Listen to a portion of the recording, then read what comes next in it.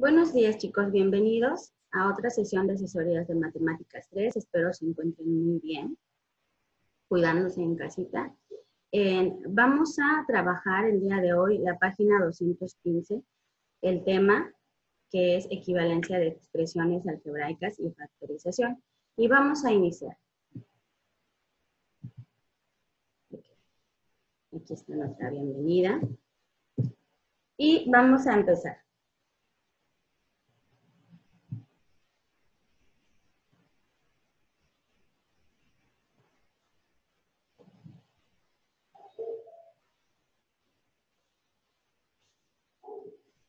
Equivalencia de expresiones algebraicas y factorización.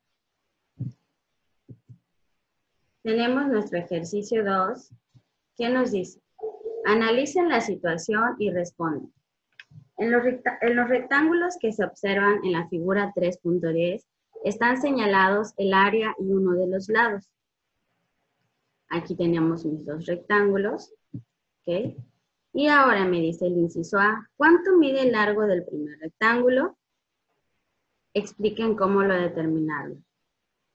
Inciso B, ¿cómo pueden verificar que determinaron correctamente el largo del rectángulo? Verifiquen.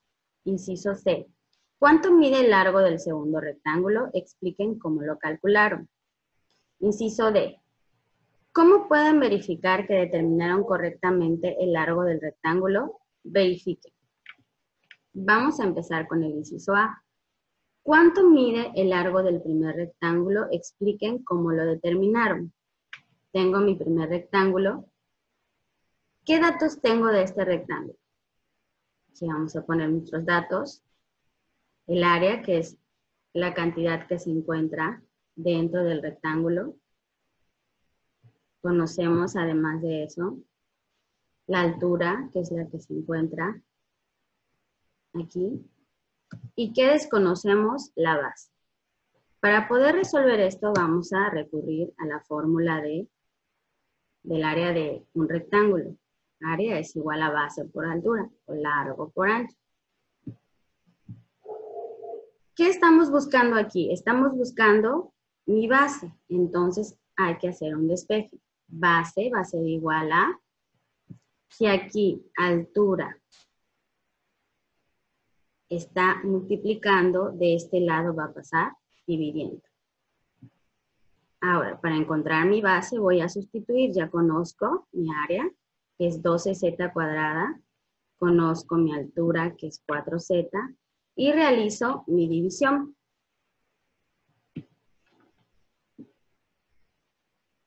Aquí voy a dividir, en una división algebraica, voy a dividir mis coeficientes 12 entre 4, que me va a dar 3, y luego la parte literal, que es z cuadrada entre z. ¿Qué cantidad voy a obtener? 13. Recuerden que los exponentes se restan, este aunque no lo tenga es 1, se sobreentiende que es 1. 12 entre 4 voy a obtener 3 z cuadrada entre z, me queda una z nada más, y ya tengo o conozco mi base. En el inciso B me pide cómo pueden verificar que determinaron correctamente el largo del rectángulo. Verifique. Vamos a verificar con la fórmula del área. Área va a ser igual a base por altura. Ya conozco mi base que es 3z. Y mi altura que es 4z. Si yo multiplico este, me debe de dar 12z cuadrada. 3 por 4, 12. z por z, z cuadrada. Ahora pasamos al inciso C. ¿Cuánto mide el largo del segundo rectángulo? Expliquen cómo lo calcular. Aquí tengo mi rectángulo. Recurro otra vez a mis datos. Área 25a cuadrada más 15a altura 5A y desconozco mi base. Otra vez la fórmula del área. Despejo mi base y voy a sustituir. Aquí vamos a dividir cada uno de los términos de este binomio entre cada uno de los, entre este monomio.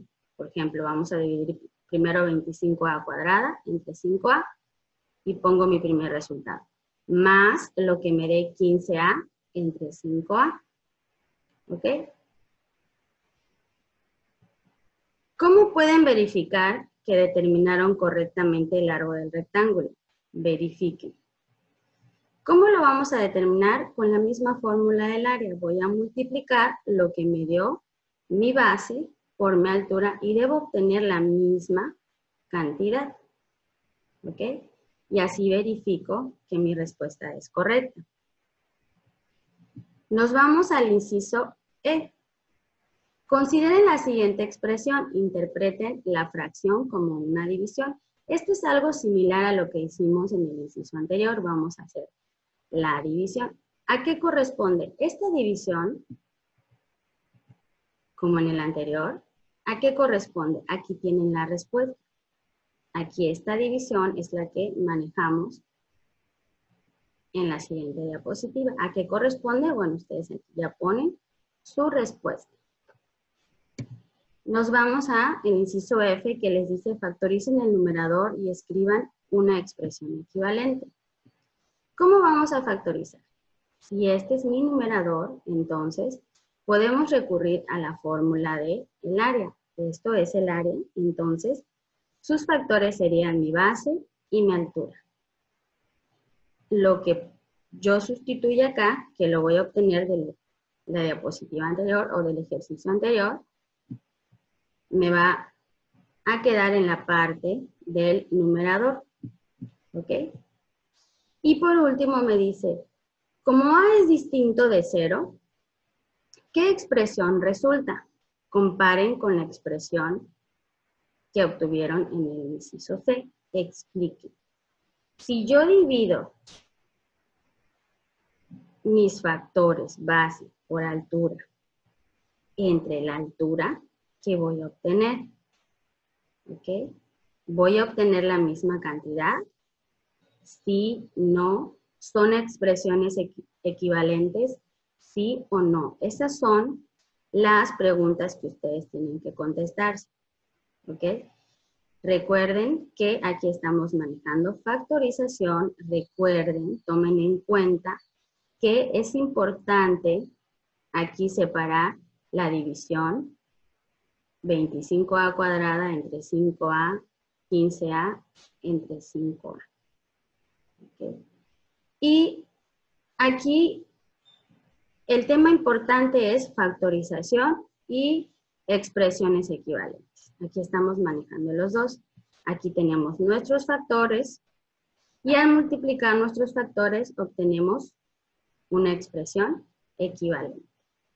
¿Ok?